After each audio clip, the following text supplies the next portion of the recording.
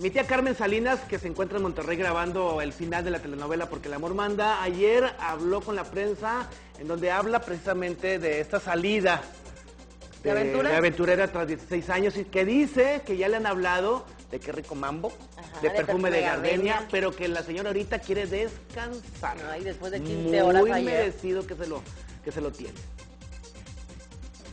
Hace unos días, Carmen Salinas hizo oficial su salida de aventurera.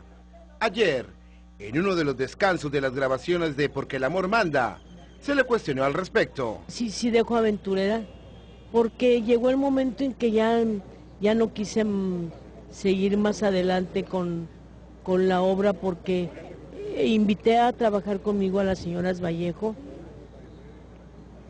por, por un afecto que yo siempre, siempre sentí por su mamá de ellas. Más claro, ni el agua.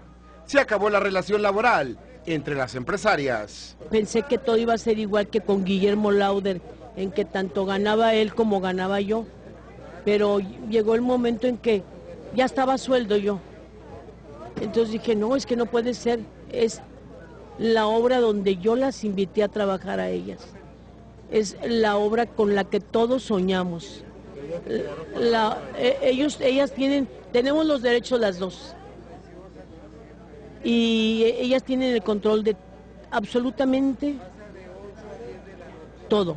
Carmen Salinas afirmó que sus ex socias se quedaron con todo. El vestuario de todo, el vestuario de todos. eh, tienen en, en- en- en una bodega que tienen la microfonía, toda la microfonía es mía. Claro, voy a mandar recoger todo, no pasa nada. Y repartirnos por partes iguales todo el vestuario. Este, pero mm, ya no quiero ni un acercamiento con ellas, ya no lo quiero. Con imágenes de Pepe Almanza, Televisa Espectáculos, Salvador Ruiz.